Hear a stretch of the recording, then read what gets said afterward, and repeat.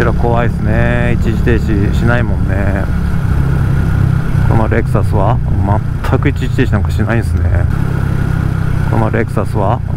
全く一時停止なんかしないんですね。やばない。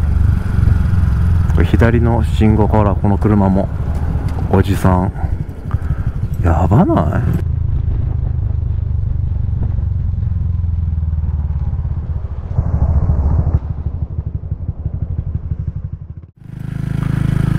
一時停止全然しないんですよこの2台。グレーと黒の車。やばいって。笑っちゃうよこれ笑っちゃうっていけないけどもまあ失笑ですね。停止線も守んないし。うんおじさんベテランでしょどちらも。左はね40代ぐらいです。こちらは50代ぐらいで。なんか情けなくなってくるよねベテランドライバーさんと思われる人が。